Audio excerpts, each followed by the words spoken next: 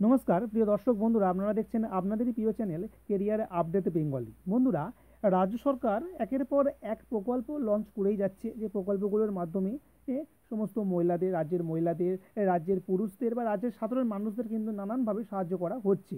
এ তো বন্ধুরা, তো রাজ্য সরকারের একটি প্রকল্প রয়েছে, যে প্রকল্পটিতে যদি আপনি আবেদন করেন, পঁচিশ হাজার টাকা কিন্তু আপনারা পেয়ে যাবেন। হ্যাঁ বন্ধুরা, পঁচিশ হাজার টাকা আপনারা পেয়ে যাবেন।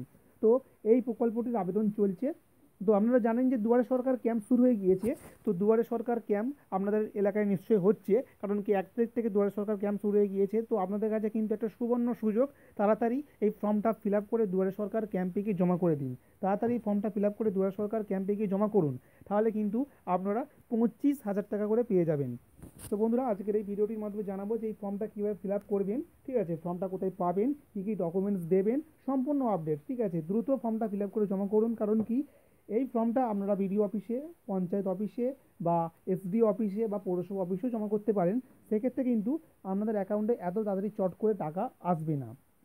কিন্তু দুয়ারে সরকার প্রকল্পে আপনারা জমা করলে আপনারা জানেন যে দুয়ারে সরকার প্রকল্পে খুব দ্রুত কাজ হয়। এখানে জমা করলে আপনারা দ্রুত টাকা পেয়ে যাবেন এবং আপনাদের এই প্রকল্পে দ্রুত নামও উঠে যাবে। তো আজকের এই ভিডিওটির মাধ্যমে সেই প্রকল্পটি সম্পর্কে বিস্তারিত জানাব বন্ধুরা। আপনারা দ্রুত প্রকল্পটি সম্পর্কে জেনে নিন বিশদে জেনে নিয়ে আপনারা আবেদন করে ফেলুন। তো বন্ধুরা আজকের যে প্রকল্পটি সম্পর্কে বলব, সেটা হচ্ছে রূপশ্রী প্রকল্প।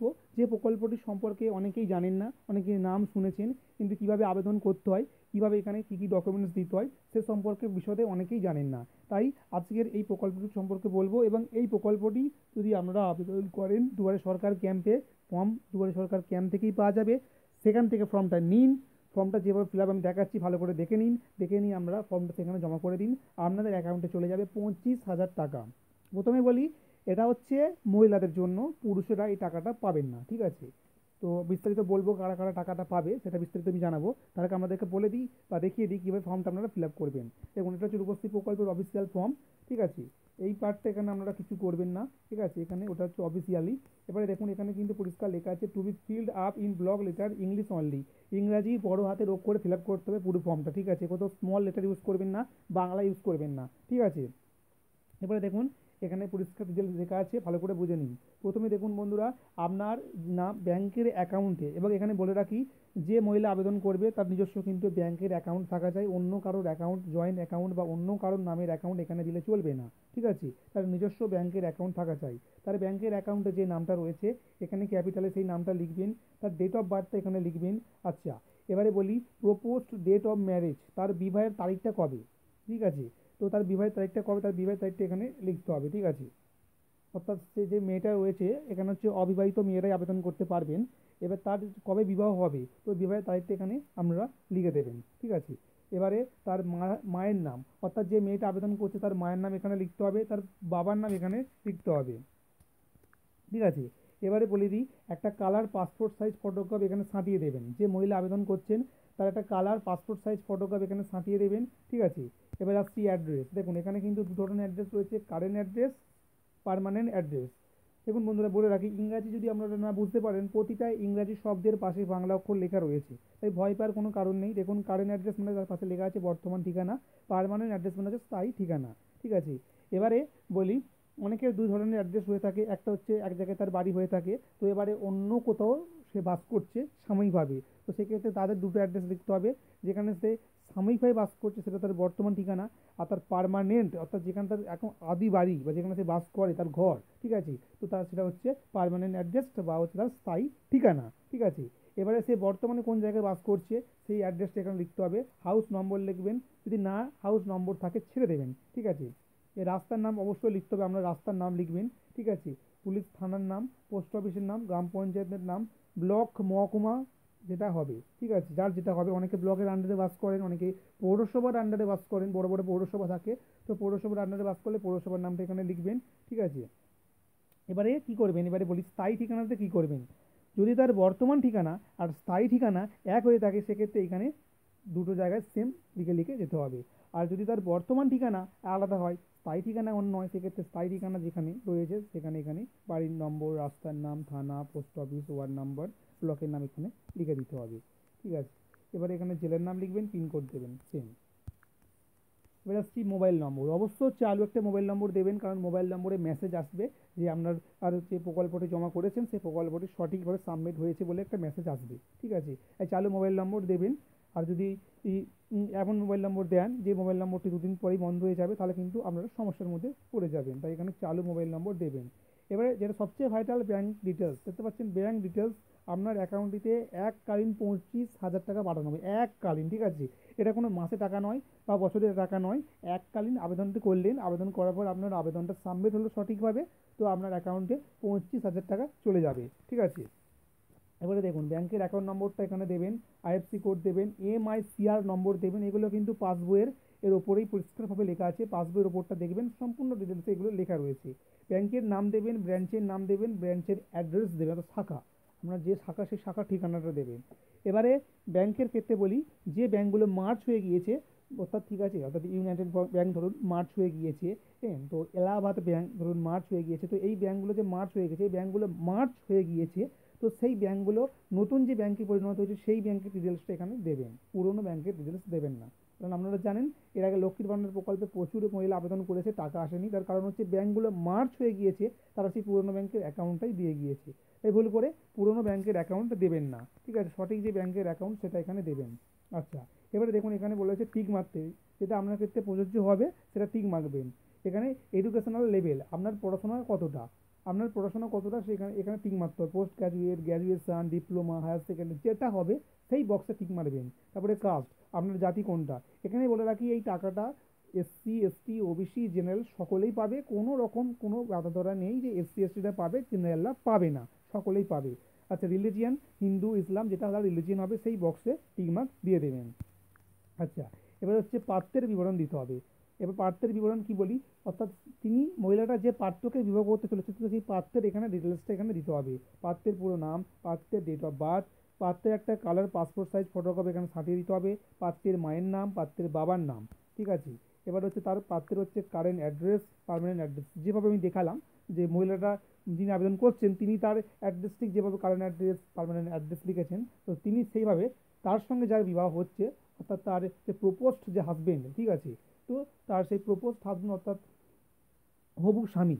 হবু স্বামীর এখানে কারেন্ট অ্যাড্রেস এবং পারমানেন্ট অ্যাড্রেস এখানে লিখে দেবেন। তো সেম হাউস নম্বর রাস্তার নাম পুলিশ স্টেশন পোস্ট অফিস গ্রাম পঞ্চায়েতের নাম।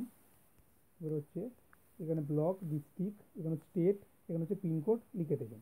ঠিক আছে? এবার হচ্ছে এখানে দেখুন ডিক্লারেশন রয়েছে। একটা ডিক্লারেশনটা রয়েছে কি? প্রথমে দেখুন এক নম্বরে রয়েছে I am unmarried and the proposed marriage is my first marriage ঠিক আছে?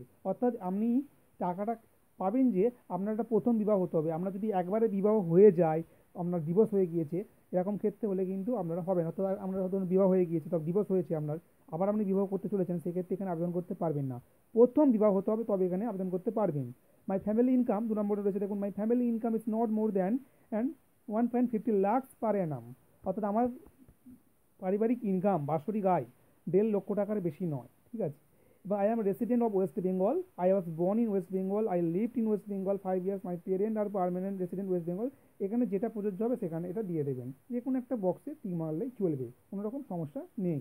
আই এম অ্যাবভ আঠারো এইটিন ইয়ার্স ওল্ড এবং আমি আঠেরো বছরের ওপরে আঠেরো বছরের ওপরে হতে হবে, তবে এখানে আবেদন করা যাবে। অর্থাৎ যে মহিলা আবেদন করছেন, তাকে আঠেরো বছরের বয়সের উপরে হতে হবে।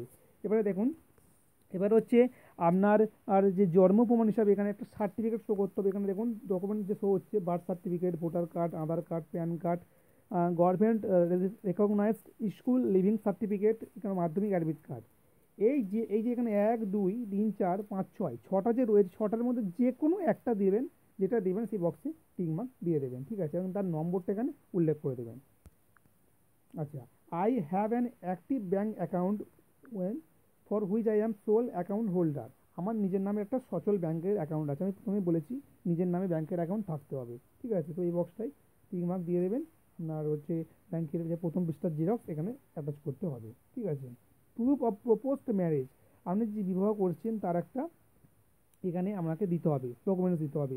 তিনটে ডকুমেন্টস রয়েছে marriage invitation card marriage registration notice self declaration ঠিক আছে?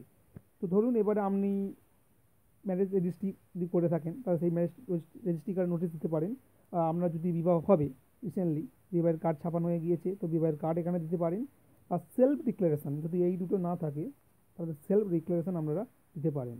একটা লিখিত যে আমি এরকম বিবাহ করছি, ঠিক আছে? সেই সেলফ ডিক্লারেশনটা আপনাকে দিতে হবে। আচ্ছা তাহলে সাত নম্বরে দেখুন কি বলেছে my proposed groom is above twenty one years old অর্থাৎ আপনি যাকে বিবাহ করছেন, আপনার স্বামী, হবু স্বামী সে একুশ বছরের বেশি বয়স তার, ঠিক আছে? এবং তার প্রমাণ দিতে হবে আপনার স্বামীর যে কোনো একটা সার্টিফিকেট এখানে birth certificate voter card Aadhaar card যে কোনো একটা সার্টিফিকেট তার যেখানে ডেট অফ বার্থটা প্রুফ হয়ে যাবে যে তিনি একুশ বছরের বেশি, সেটা এখানে দিতে হবে, তার নম্বরটা এখানে উল্লেখ করতে হবে। এবং তারপরে দেখুন, লেখা আছে I will be liable if any of the above information is found to be false আমি এখানে যে তথ্য দিয়েছি, সমস্ত কিছু সত্য যদি ভুল প্রমাণিত হলে তার জন্য আমি দায়ী থাকব এবং এই ফর্মটা ক্যান্সেল করে দেওয়া হবে। এবারে আপনি যেদিন দুয়ারে সরকার ক্যাম্পে জমা করবেন তারিখ এখানে দেবেন আর আমাদের এখানে সিগনেচার করে দেবেন। ঠিক আছে? এবারে দেখুন, এই যে এই পার্টটা যে রয়েছে দেখতে পাচ্ছেন এখানে পরিষ্কার লেখা আছে কি? অফিস ইউজ অনলি বুঝতে পারছেন? এই পার্টটা যে রয়েছে অফিস ইউজ অনলি এটা কী করবেন? কিছু আপনার করার দরকার নেই। তারপরে পার্টটায় আমরা যাব। এখানে দেখুন কি লেখা আছে অ্যাকনলেজমেন্ট অফ রিসিপ্ট অ্যাপ্লিকেশান এটা হচ্ছে, দুয়ারে সরকার ক্যাম্প থেকে আপনাকে এই পার্টটা ছিঁড়ে আপনাকে দিয়ে দেবে। ঠিক আছে? এখানে অ্যাপ্লিকেশন নম্বর তারা দিয়ে দেবে, তারিখটা দিয়ে দেবে। এখানে তারা তাদের সমস্ত কিছু লিখে, ঠিক আছে, এখানে তারা আপনাকে এটা পার্টটা দিয়ে দেবে, ঠিক আছে, এখানে সিগনেচার করে তারা আপনাকে এই পার্টটা দিয়ে দেবে, ঠিক আছে। তাহলে ফর্ম ফিল আপটা আপনারা সম্পূর্ণ বুঝে গেলেন। এবার আসছি কী কী ডকুমেন্টস জমা করবেন। এখানে ডকুমেন্টস তো আমি সমস্ত কিছু ভাই বলেই দিয়েছি। আপনার এবং আপনার হবু স্বামীর হচ্ছে ডেট অফ বার্থ হিসাবে দিতে হবে অ্যাড্রেস হিসাবে আধার কার্ড ভোটার কার্ড এগুলো দিতে হবে। আপনার এবং আপনার স্বামী দুজনে একটা করে ফটো এখানে তো সাঁটাতেই হচ্ছে এবং আপনার হচ্ছে ব্যাংকের অ্যাকাউন্টের জেরক্স এখানে অবশ্যই দিতে হচ্ছে, ঠিক আছে? আর এখানে কিছু দেওয়ার দরকার নেই, এই সমস্ত ডকুমেন্টসগুলো দিলেই হবে। আর এবারে হচ্ছে আপনি যদি এসসি এসটি যেটা হয়ে থাকবেন, তো তার সার্টিফিকেট এখানে এখানে আপনাকে অবশ্যই দিতে হবে। তো এই সমস্ত ডকুমেন্টসের জেরক্স এর সঙ্গে অ্যাটাচ করতে হবে, করে আপনাকে দুয়ারে সরকার যে ক্যাম্প রয়েছে সেই ক্যাম্পে দিতে হবে। এবং আপনারা যদি এই আবেদনপত্রটি সমস্ত কিছু তাদের সঠিক বলে মনে হয়, আপনাদের অ্যাকাউন্টে সরাসরি পঁচিশ হাজার টাকা আপনাদের এখানে অ্যাকাউন্টে পাঠিয়ে দেওয়া হবে। তো আশা করছি ভিডিওটি আপনাদের ভালো লেগেছে লাইক করবেন শেয়ার করবেন এবং প্রচুর পরিমাণে শেয়ার করবেন, যাতে করে যারা জানে না, অবশ্যই তারা যেন জানতে পারে এবং আবেদন করতে পারে। ধন্যবাদ।